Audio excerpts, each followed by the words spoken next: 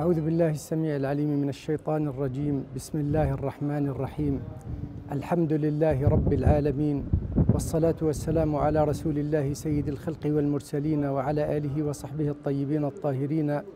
وبعد ورد في سنن النسائي عن أسامة بن عن أسامة بن زيد رضي الله عنه أو عنهما أنه قال قلت يا رسول الله صلى الله عليه وسلم لم أرك تصوم في شهر من الشهور كما تصوم من شعبان.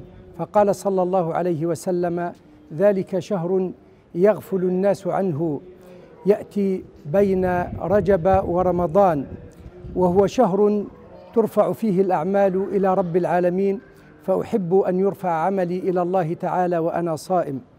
وورد في صحيح البخاري عن عائشة رضي الله عنها أنها قالت فما رأيت رسول الله صلى الله عليه وسلم استكمل صيام شهر من الشهور إلا رمضان وما رأيته يصوم في شهر كما يصوم من شعبان أو كما قالت رضي الله عنها وأرضاها.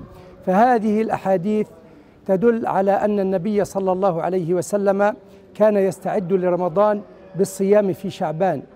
فمن أجدى الأعمال إخوة الإسلام التي تنفع في رمضان هي الاستعداد له في شعبان قبل دخوله حتى لا تدخل عليه هكذا هجوما بل تكون مستعدا له. فإذا جاء رمضان وأنت غير غير مستعد له إذا باغتك رمضان تفوت عليك الكثير من الخير.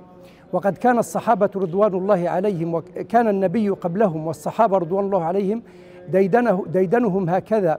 كانوا يودعون رمضان ستة أشهر ويستقبلونه ستة أشهر. كانوا كانت كل حياتهم تدور حول رمضان. هذا الأمر الأول إخوة الإسلام. الاستعداد في شعبان قبل رمضان. الأمر الثاني الذي يجدي وينفع هو إدراك فضيلة هذا الشهر فهو شهر عظيم وهو شهر تغفر فيه السيئات والخطايا وتتضاعف فيه الحسنات وفيه ليلة خير من ألف شهر من حرم خيرها فقد حرم كما قال النبي صلى الله عليه وسلم. فإدراك هذه الفضيلة يدفعك إلى التزود ويدفعك إلى الاجتهاد في رمضان فهو نفحة من نفحات الله سبحانه وتعالى التي حث النبي صلى الله عليه وسلم وأمر وأمر بالتعرض لها. يقول صلى الله عليه وسلم إن لربكم في دهركم نفحات ألا فتعرضوا لها ورمضان من هذه النفحات. يقول صلى الله عليه وسلم في الحديث الذي رواه الترمذي وقال هو حديث حسن صحيح يقول رغم أنف رجل أدرك رمضان فانسلخ رمضان أو دخل عليه رمضان ثم انسلخ قبل أن يغفر له. هذا دليل على عظم هذا الشهر وأنه فرصة عظيمة للناس للتزود من الخير.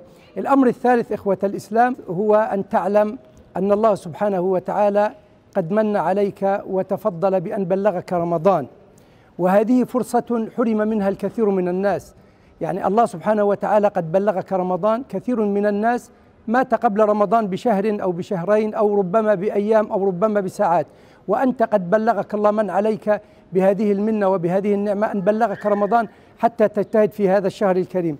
فهذه فرصة قد لا تعود قد لا يعمرك الله حتى في رمضان القادم.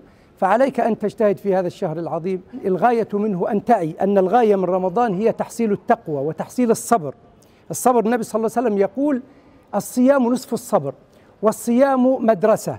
الله سبحانه وتعالى فرض الصيام من أجل التقوى تحصيل التقوى. يقول سبحانه وتعالى يا أيها الذين آمنوا كتب عليكم الصيام كما كتب على الذين من قبلكم لعلكم تتقون. والتقوى هنا الفعل بالمأمور وترك المحظور.